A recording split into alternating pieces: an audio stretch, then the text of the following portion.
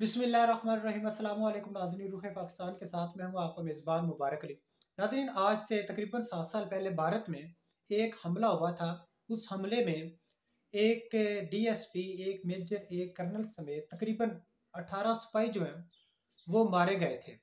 और उस हमले में मुलवस, उन्होंने, भारत ने कहा कि पाकिस्तान है और हम पाकिस्तान से इसका बदला लेंगे और बदला, खून का बदला, खून होगा और इसका बदला ऐसे लेंगे कि इनको लग पता जाएगा, इनको माँ जो है, वो याद आ जाएगी। और कल, आप जानते हैं, बारह रबी अव्वल का दिन था और पूरे पाकिस्तान में जुलूस निकाले गए। और कल ही मस्तुंग और हंकू में धमाके हुए, जिसमें दर्जनों शहीद हुए और दर्जनों जो हैं, वो ज़ख्मी हुए। जो ज़ख्मी हुए हैं, अभी तक उनकी तादाद जो है, वो कंफर्म नहीं है, लेकिन अलबत्त जो ज़ख्मी हैं, उनमें मज़ीद शहीद हो सकते हैं। उनकी जो हालत है वो तशवीशनाक है।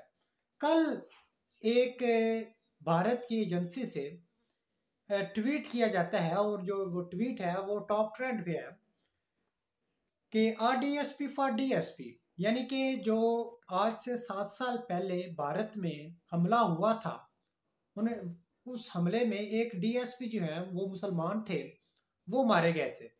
यानी कि उन्होंने ट्वीट किया है डीएसपी फॉर डीएसपी यानी कि कल जो पाकिस्तान में हमला हुआ, जो पाकिस्तान में धमाका हुआ, उसमें एक डीएसपी शहीद हुए हैं। और तब जो भारत में धमाका हुआ, तब भी एक डीएसपी मारे गए। यानी कि डीएसपी के बदले डीएसपी को मार दिया गया, यानी कि खून का बदला खून से लिया गया। तो आगे उन्होंने कहा always remember nothing goes unanswered when you attack our man उन्होंने कहा, ये आप मत भूलिएगा कि हम पे जो हमारे जो आदमी हैं, उन पे जो हमला किया जाए और हम भूल जाएँ, ये नहीं हो सकता।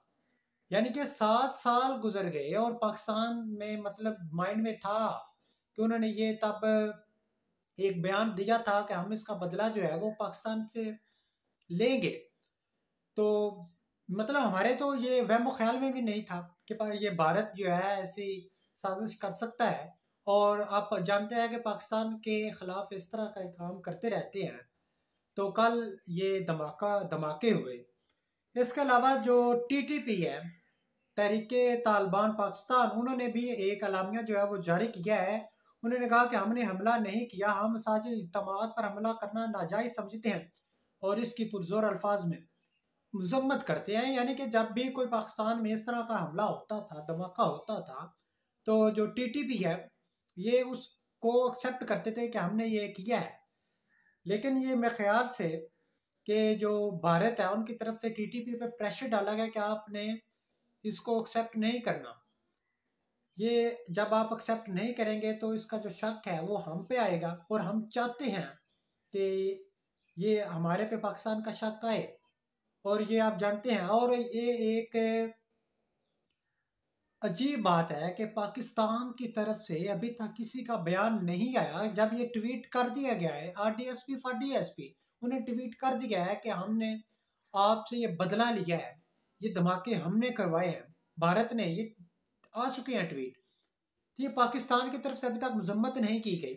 पाकिस्तान, ये आर्मी चीफ की तरफ़ से D G I S P R की तरफ़ से, चीफ जस्टिस साहब की तरफ़ से, प्राइम मिनिस्टर साहब, किसी की वज़ीर दफ़ा किसी की भी तरफ़ से अभी तक ये ट्वीट या कोई बयान नहीं आया कि ये भारत ने हमला किया है, उन्होंने एक्सेप्ट कर लिया है। क्यों?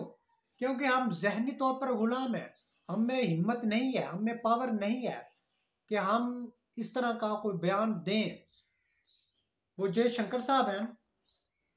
भारत के वो कहते हैं कि हम अपने आप को पाकिस्तान से कंपेयर नहीं करते। हम पागल हैं कि जो खुद को पाकिस्तान से कंपेयर करें। अगर हमने compete करना है तो चाइना और अमेरिका को compete करना है। हमारा पाकिस्तान से लेना देना क्या है? जयशंकर का यह बयान है इंडियन आप देख लें, जो नरेंद्र मोदी साहब हैं, उन्होंने एक बयान दिया पिछले दिनों कि हम इनको इस लेवल पर ले आए हैं कि कटोरा लेकर भीख मांगते हैं। आप देख सकते हैं कि मैं, शबाज शरीफ साहब को टारगेट तो अलबत्ता नहीं कर रहा, वैसे मतलब उनका एक छोटा सा क्लिप है जो सोशल मीडिया पर काफ़ी वायरल था और अभी भी वायरल है। अगर आप देखना चाहें तो सोशल मीडिया पर देख सकते हैं कि शबाज शरीफ साहब जो है वो फरमाते हैं कि आप समझ रहे होंगे कि मैं मांगने आया हूँ। मैं मांगने नहीं आया, ये मेरी मजबूरी है। कटोरा लेकर जाते हैं वहाँ पर और भीख लेकर पाकिस्तान आते हैं। ये अभी की बात नहीं है। ये पहले भी पाकिस्तान जो है, ये भीख पर चल रहा है। ये पहले भी पाकिस्तान मुआजा था और अब भी पाकिस्तान मुआजा है। और ये देख लें कि मुआजों पे किस तरह लोग कायम रहते हैं, दुनिया कायम रहे और पाकिस्तान कायम है। अजीबो गरीब ये एक बयान है। अजीबो गरीब दास्तान है पाकिस्तान की कि इनसे सवाल करने की, इनसे अटैक करने की जो हिम्मत है, जो सकत है, वो छीन ली गई है। क्यों? क्योंकि हम जहनी तौर पर ग़ुलाम है। और जो ग़ुलाम होते हैं, उसको आका जो हुक्म देता है, वो उसकी फर्मा बरदारी करते हैं कि, ओके आका, जो आपने कह दिया है, हम वही कहेंगे, हम वही करेंगे। लिहाजा आपको परेशान होने की ज़रूरत नहीं है। ये है पाकिस्तान।